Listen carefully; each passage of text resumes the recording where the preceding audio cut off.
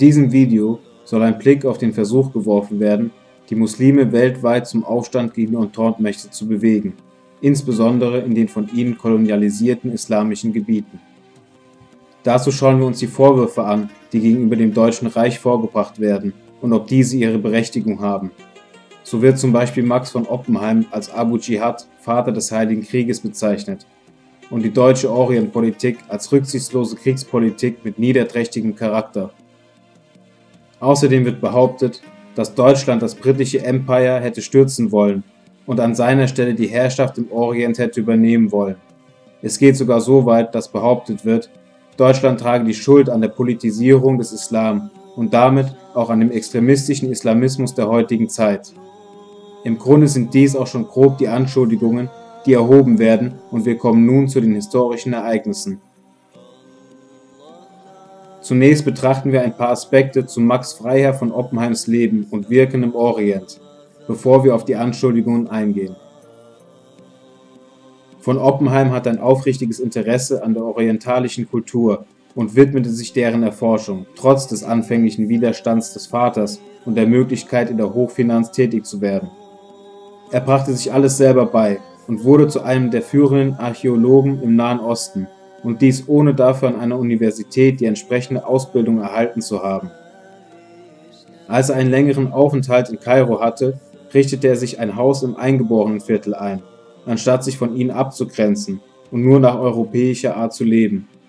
Seine Offenheit und sein respektvoller Umgang sowie sein ernst gemeintes Interesse an den Menschen und ihrer Kultur führten zu einer Freundschaft mit den Muslimen, die von gegenseitigem Vertrauen und Anerkennung geprägt gewesen war so wird seine Popularität in Ägypten unter anderem dadurch deutlich, dass der Trauerzug von der Beerdigung des ägyptischen Freiheitskämpfers Mustafa Pascha Kamil an Oppenheims Haus stoppte und ein Hoch auf ihn ausrief. Bedauerlicherweise verursachte dieses gute Verhältnis bei der englischen und französischen Regierung großes Misstrauen. Von jenen wurde er sogar beschuldigt, die Einheimischen gegen sie aufzuhetzen und er würde durch sein Wirken Deutschland dabei helfen, den Orient zu erobern. Französische Zeitungen wie die Le Pyramide warfen ihm und dem Deutschen Reich schon 1906 vor, panislamische Propaganda zu betreiben und die Sufi-Bruderschaft aufzuwiegeln. Oppenheim verurteilte diese Gerüchte über ihn und er sehe darin die Absicht, die Deutschen als falsche Freunde darzustellen. Es war die Sorge der Engländer und Franzosen, vor dem Pan-Islamismus und einer Allianz zwischen dem Islam und dem Deutschen Reich, der sie zu den propagandistischen Presseartikeln über Oppenheim trieb. Diese Vorwürfe hatten allerdings keine Berechtigung, da er einerseits durchaus versuchte, die Einheimischen zu beruhigen und ihnen zu verstehen gab, dass sie nicht die Machtmittel für eine Revolution hätten, und andererseits unterhielt Oppenheim auch zu Engländern freundschaftliche Beziehungen doch waren es die revolutionären Bestrebungen der kolonialisierten Muslime, die Oppenheim dazu veranlassten, seine Schrift Denkschrift betreffend die Revolutionierung der islamischen Gebiete unserer Feinde niederzuschreiben. Nun zu den Anschuldigungen, von denen eine darauf beharrt, Oppenheim sei der Vater des Heiligen Krieges und Deutschland habe den Islam politisiert, zeugt von einer schweren geschichtlichen Unkenntnis und ist aus vielerlei Hinsicht unhaltbar, wie schon das folgende Beispiel zeigen soll. Denn die Idee der Revolutionierung feindlicher Gebiete ist zu diesem Zeitpunkt keineswegs neu, und es waren 1870 Muslime, die sich mit einem Aufstandsplan an den Norddeutschen Bund wandten. Hierbei handelte es sich um algerische Emigranten, welche in Konstantinopel lebten und kurz vor Beginn des Deutsch-Französischen Krieges diesen Plan Vertretern des Norddeutschen Bundes präsentierten. Dieser Plan besagte, dass französische Truppen im Maghreb gebunden werden sollten, um deren Entsendung nach Europa zu verhindern, sowie auf algerischer Seite bei einem Aufstand keine neu ankommenden Truppen befürchten zu müssen. Zu diesem Zweck wurde der Afrikaforscher Gerhard Rolfs und der Orientalist Johann Gottfried Wettstein geschickt, um die Berberstämme zum Aufstand zu bewegen. Doch das Unternehmen scheiterte, da die Franzosen dieses Vorhaben frühzeitig entdeckten. Spätestens ab diesem Zeitpunkt war die Idee der Aufwiegelung von Unabhängigkeitsbewegungen eine militärische Option für das Deutsche Reich. Ich denke, allein hierdurch wird deutlich, dass diese beiden Vorwürfe ungerechtfertigt sind. Außerdem sorgte Enver Pascha bereits vor dem Ersten Weltkrieg für die Verbreitung der panislamischen Idee in Asien und informierte noch vor dem Kriegseintritt der Osmanen Deutschland darüber, dass die Revolutionierung der islamischen Welt bereits begonnen habe. Seine frühzeitigen Anstrengungen machten sich bezahlt, denn durch jene wurde der Aufstand der Adscharen entfacht. Kommen wir zur nächsten Unterstellung, und zwar jener, die besagt, Deutschland habe die Absicht gehabt, die Entente-Mächte zu verdrängen, um selbst über die Mohammedaner zu herrschen. Hiergegen sprechen mehrere Dinge, darunter auch die abschließenden Ausführungen in der Denkschrift, bei denen Oppenheim wirklich die Unabhängigkeit der Muslime fordert und nicht nur einen kolonialen Herrschaftswechsel. Zum einen erwähnt er die aufrichtige Freundschaft der muslimischen Welt zu Deutschland. Zum anderen schreibt er über eine künftige islamische Staatenvereinigung, welche durch Deutschland später Hilfe erhalten könne Jene Unterstützung könne unter anderem für Militär- und Zivilorganisationen geleistet werden. Persien würde endlich frei und entwicklungsfähig werden und Afghanistan werde eine neue, glänzende Zukunft eröffnet. Hier sei anzumerken, dass diese Schrift nur für die deutschen Behörden gedacht war und sonst von niemandem gelesen werden sollte. Also warum sollte er, wenn er es nicht absolut ernst meinte, so etwas schreiben? Noch einmal, diese Denkschrift war nicht für Propagandazwecke konzipiert worden. Außerdem schrieb er auch nicht über zukünftige Gebietsansprüche im Orient, welche es auch zu keiner Zeit gegeben hatte. Es existieren keinerlei Pläne, nach einem siegreichen Krieg den Orient unter eigenes Herrschaftsgebiet bringen zu wollen. Des Weiteren waren die Revolutionsbemühungen nicht nur eine kriegstaktische Überlegung, wie die Entlastung der Fronten in Europa und das Verhindern von Neurekrutierungen in den Kolonien der Entente, sondern auch jener, eine neue Ordnung für nach dem Krieg zu erschaffen. Denn Deutschland war es bewusst, dass die Kolonialherrschaft irgendwann zu Ende gehen würde und dass dies eher die anderen Kolonialstaaten betreffen werde. Der Grund dafür, dies anzunehmen, waren die Unabhängigkeitsbewegungen unter den fortentwickelteren Völkern, wie eben denen aus den islamischen Gebieten. Deutschland hatte sich diesbezüglich wenig zu sorgen, da seine Herrschaft sich mehr oder weniger über Naturvölker erstreckte. Vielleicht auch deshalb solidarisierte sich Deutschland zunehmend mit den Menschen des Orients und unterstützte jene bei der Erlangung ihrer Selbstständigkeit. Zudem sorgte dieses Verhalten für weltweite Anerkennung und somit auch für ein Gefühl der moralischen Überlegenheit gegenüber den anderen europäischen Mächten deren Vorgehensweise in den Kolonien weltweit und insbesondere in Deutschland auf Missachtung stieß. Diese Einstellung Deutschlands bildete damit eine Alternative zu der Politik der Entente. Unbestritten ist natürlich auch der damit einhergehende politische und wirtschaftliche Vorteil, den Deutschland womöglich vor Augen hatte. Doch unabhängig von dem Nutzen war die Begegnung mit dem Orient auf Augenhöhe einmalig unter den europäischen Staaten und deutschlandweit herrscht eine ehrliche Begeisterung und Sympathie für den Orient sowie das Gefühl für Gerechtigkeit einzustehen. Wilhelm II. ergriff mehrfach Partei für den osmanischen Sultan, zum Beispiel in Tanga 1905, als er sich gegenüber dem dritten Sekretär der französischen Gesandtschaft darüber äußerte, dass er nicht nur für Deutschland die Gleichberechtigung mit anderen Nationen fordere, sondern dies auch für das Osmanische Reich und dessen Sultan. Ebenso 1909, als Großbritannien auf dem Tigris und dem Euphrat trotz des Widerstandes der Osmanen ein Schifffahrtsmonopol zu errichten beabsichtigte. Der deutsche Kaiser wendete sich daraufhin an die britische Regierung und verurteilte dieses Vorgehen als den Eingriff einer fremden Macht in das Selbstbestimmungsrecht einer zweiten. Die andere Anschuldigung, welche von mir zu Beginn angesprochen wurde, ist jene, bei der behauptet wird, das damalige Vorgehen Deutschlands habe den extremistischen Islamismus von heute entstehen lassen. Während sich der Extremismus unserer Zeit gegen Ungläubige richtet, richtete sich der Dschihad, welcher damals ausgerufen wurde, nicht gegen Ungläubige im Allgemeinen, sondern gegen jene europäischen Mächte, die als Kolonialisten über die Muslime herrschten. So heißt es in der Fatwa des persischen Scheichs, die unser Land und Haus rauben und unsere staatliche und nationale Unabhängigkeit zu vernichten trachten. also explizit gegen jene Fremdherrschaft. Nicht nur in Persien, auch im Maghreb richtet sich der Dschihad eindeutig gegen die Fremdherrschaft und nicht gegen andere Glaubensgemeinschaften. So heißt es in einem dortigen Aufruf, dass sich der Kampf gegen diejenigen richten soll, die sich das Land widerrechtlich angeeignet haben. In allen Flugschriften ist stets von Unabhängigkeit und Befreiung die Rede, nie von einem Krieg gegen Nichtmuslime. Der Vorwurf, dass daraus der extremistische Islam, den es heute bedauerlicherweise gibt, entstanden sei, ist nicht nachvollziehbar. Denn wie schon aufgezeigt, richtete sich der Dschihad ausschließlich gegen den Imperialismus der Engländer, Franzosen und Russen. Zudem gibt es unter heutigen islamistischen Terroristen auch Gewalt gegen Frauen und Kinder, was damals ausdrücklich und wiederholt in den Flugblättern verboten wurde. Das Ziel war die Befreiung von der Fremdherrschaft.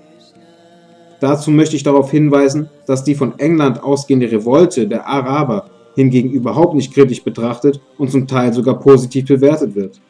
Wobei dieser vermeintliche Freiheitskampf und die Zusicherungen der englischen Regierung von Anfang an eine Lüge waren. Auch Lawrence bezeichnete es als Betrug und Unaufrichtigkeit. Die Ursache des heutigen islamistischen Fundamentalismus liegt eher in der Politik nach dem Ersten Weltkrieg. So zum Beispiel in dem so viel gepriesenen Selbstbestimmungsrecht der Völker, was sich aber nur auf die Völker in Europa bezog und nicht auf die Länder des Orients oder Afrikas, sowie die in den letzten Jahrzehnten betriebene Politik des Westens im Nahen Osten. Doch dies ist ein anderes Thema.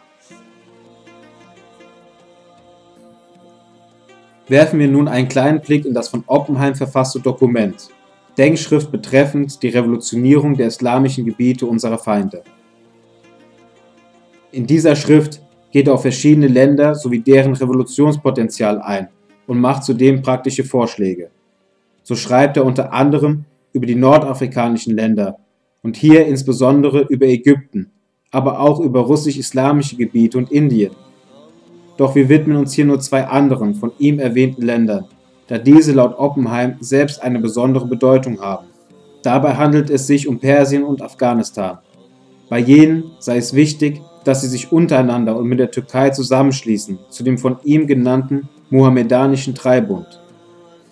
In Persien, auch bekannt als Iran, sah Oppenheim nur in einigen Stämmen kriegerisches Potenzial, nicht aber in der Regierung, da diese durch innere Unruhen viel zu schwach sei.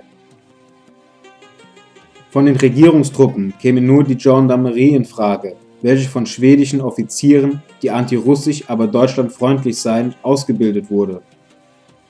Doch trotz dieser Schwäche sei der Einfluss Persiens im Orient immer noch groß, so auch auf Afghanistan, Indien und die russisch-islamischen Gebiete. Zudem sei der Iran besonders als Durchgangsland nach Afghanistan und Indien von Wichtigkeit. Des Weiteren ist die Stimmung in Persien weitgehend antirussisch und anti-englisch, was der Besetzung des Nordens durch die Russen sowie des Südens durch die Engländer geschuldet ist. Unter seinen praktischen Vorschlägen befand sich zum Beispiel derjenige, das englische Telegrafennetz, welches von Buschir im Süden des Landes bis nach Nordpersien führt, zu zerstören. Aber auch die Engländer aus Abadan zu vertreiben, wo die Anglo-Persien Oil Company große Raffinerien hat und das Öl aus der Provinz Khuzestan über unterirdische Rohrleitungen hingepumpt wird. Um dies umzusetzen, sollte ein Schiff des deutschen Handelshauses Bönkhaus den Flachwasserbereich des Schatt el Arab sperren und das Ölfördergebiet von deutschen sowie türkischen Truppen besetzt werden. Bei der Besetzung wäre laut Oppenheim mit der Hilfe oder zumindest mit dem Gewährenlassen der persischen Stämme zu rechnen. Durch die Sperrung des Schatt el Arab würde die englische Marine am Eindringen gehindert werden und ein Angriff über den Landweg wäre unwahrscheinlich, da dann auf jeden Fall auch durch das Eingreifen der Perser England den kürzeren ziehen würde. Afghanistan sah Oppenheim als eine nicht zu unterschätzende Macht an, vermutlich auch deshalb, weil die Engländer zweimal daran scheiterten, das Land zu besetzen. Laut Oppenheim soll sich das stehende Heer aus 50.000 bis 60.000 Mann zusammensetzen. Da aber jeder eine Waffe besäße, würde sich nach Schätzungen 200.000 bis 400.000 Mann als Soldaten bereitstellen. Außerdem befindet sich in Afghanistan eine Waffenfabrik der Firma Krupp, Jene wurde von 1898 bis 1904 von dem Geschützmeister Gottlieb Fleischer geleitet. Aber nun kurz zur Idee, wie die Beteiligung Afghanistans im Kampf gegen die Entente genutzt werden sollte.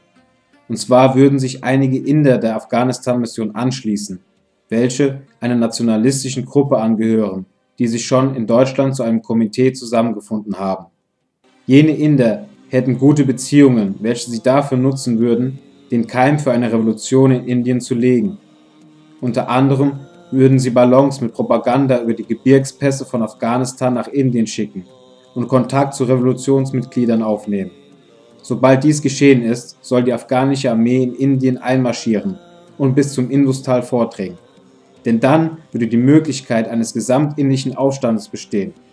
Mehr zur Afghanistan-Mission erfahrt ihr dann in dem kommenden Video. Ein weiterer Vorschlag war es, mohammedanische Kriegsgefangene in gesonderten Lagern festzusetzen. Schon während Oppenheim seine Denkschrift zu Papier brachte, befanden sich über 900 muslimische Kriegsgefangene in verschiedenen Lagerplätzen, darunter in Alten Grabow, Paderborn und vor allem in Zossen. Oppenheim sah vor, dass alle diese muslimischen Kriegsgefangenen in ein separates Lager kommen und die noch folgenden Kriegsgefangenen am besten von Dolmetschern an der Front in Empfang genommen werden sollten, um mit jenen nach Deutschland geschickt zu werden. Dieses Lager sollte von Berlin aus schnell zu erreichen sein, weshalb er Zossen oder Döberitz vorschlug. Zudem sollte keinerlei Möglichkeit für die Entente-Mächte vorhanden sein, auf die Gefangenen einzuwirken, weshalb auch zu prüfen sei, ob sich eingeschleuste Spione unter den Gefangenen befänden. Selbstverständlich sollten die Insassen besonders gut behandelt werden und eine Moschee erhalten, sowie einen muslimischen Geistlichen. Außerdem sollten die Gefangenen, falls sie denn Fleisch zu essen bekommen, Tiere nach dem vorgesehenen Ritus schlachten dürfen. Des Weiteren erwähnt er das Angebot des Emir Said, ein Nachfahre des algerischen Nationalhelden Emir Abdelkader. Said machte den Vorschlag, mit einigen Volksleuten nach Berlin zu reisen um mit seinen gefangen genommenen Landsleuten in Kontakt zu treten, damit jene gegen Frankreich in den Kampf ziehen. Nach Oppenheims Erachten hätte dies eine enorme Wirkung auf die Inhaftierten und sollte baldmöglichst umgesetzt werden. Zudem habe Emir Said dem kaiserlichen Botschafter in Konstantinopel eine Truppe von 600 berittenen Algeriern zur Verfügung gestellt, welche allerdings noch bewaffnet werden müssten. Diese Soldaten sollen ausgebildet und mit den in der Türkei entsendeten Kriegsgefangenen aus dem Lager in Deutschland in die türkische Armee integriert werden, um an der Eroberung Ägyptens teilzunehmen.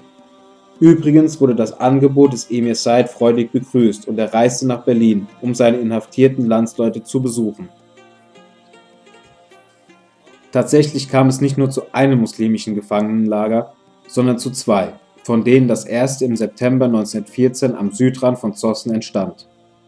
Dieses erste Lager trug den Namen Weinberglager, angelehnt an den als Weinberge bezeichneten Ortsteil. Da in diesem Lager hauptsächlich muslimische Kriegsgefangene aus dem Zarenreich untergebracht waren, nannte man es auch Tatarenlager. In diesem Lager gab es mehrere Werkstätten, welche extra eingerichtet wurden, damit die Insassen sich künstlerisch betätigen konnten so entstanden viele kunstreiche Schnitzereien, darunter auch Wegweiser, welche in der Umgebung des Lagers ihren Platz fanden. Es wurden aber auch Arbeiten im Freien verrichtet, deren Ergebnis ein Erholungspark war, der den Namen Soldatenpark hatte. Hinein ging man durch ein schön gestaltetes Eingangsportal und im Inneren befand sich ein Musikpavillon, ein Gebetshaus und andere Gebäude, die von Märchenfiguren umrahmt waren. Das zweite und wohl heutzutage bekanntere Lager entstand Anfang 1915 und trug den Namen Halbmondlager. Interniert waren hier etwa 4000 Kriegsgefangene muslimischen Glaubens, meist aus den französischen und britischen Kolonien. In jenem Lager erbaute man dann auch auf Befehl des Kaisers eine Moschee. Sie wurde komplett aus Holz erbaut und hatte einen Durchmesser von 18 Metern, eine Höhe von 12 Metern und ihr Minarett war 23 Meter hoch. Bis in die 1920er Jahre diente sie Muslimen aus Berlin noch als Gebetsstätte, doch leider wurde sie nicht instand gehalten und musste wegen Baufälligkeit 1930 abgerissen werden. Außerdem wurde zweiwöchig die Zeitung El Jihad in arabischer, tatarischer und russischer Sprache herausgegeben, um die Gefangenen von einem heiligen Krieg gegen die Entente zu überzeugen. Der vorbildliche Umgang mit den Kriegsgefangenen dient zwar zum größten Teil deren Beeinflussung, doch sollte dadurch auch die deutschen Gefangenen im Ausland gut behandelt werden, da davon ausgegangen wurde, so wie man seine Gefangenen behandle, würden auch die Feinde wiederum mit den inhaftierten Deutschen umgehen. Trotz dieser beispielgebenden Behandlung der Kriegsgefangenen kam es in den Kriegsjahren insgesamt zu 969 Todesfällen. Für diese Verstorbenen wurde der Dorffriedhof erweitert und deren Beisetzung erfolgte getrennt nach Nationalitäten. So wurde zu Ehren tatarischer Gefangener der Tatarenstein erbaut und zum Bayramfest im August 1916 eingeweiht. Nicht weit von dem Tatarenstein entfernt wurde der Araberstein zur Ehrung nordafrikanischer Muslime errichtet. Auch ein türkischer Soldat ist auf dem Friedhof beigesetzt worden, der die Lager mit beaufsichtigte. Auf dem Friedhof und in den Lagern befanden sich aber nicht nur rein muslimische Gläubige, sondern auch Sikhs, die von Orientalisten des 19. und 20. Jahrhunderts als Angehörige einer Religion angesehen wurden, die sich aus dem Hinduismus und dem Islam zusammensetzt. Nach dem Zweiten Weltkrieg wurde der Friedhof Teil eines sowjetischen Truppenübungsplatzes und bewusst zerstört. Durch aufwendige Instandsetzungsarbeiten wurde er 2005 neu eröffnet und kann selbstständig oder unter Führung besichtigt werden. Außerdem gibt es in Wünsdorf das liebevoll hergerichtete Garnisonsmuseum mit vielen Informationen und Ausstellungsstücken zu diesem Thema sowie weiteren Themen rund um den Militärstandort Zossen.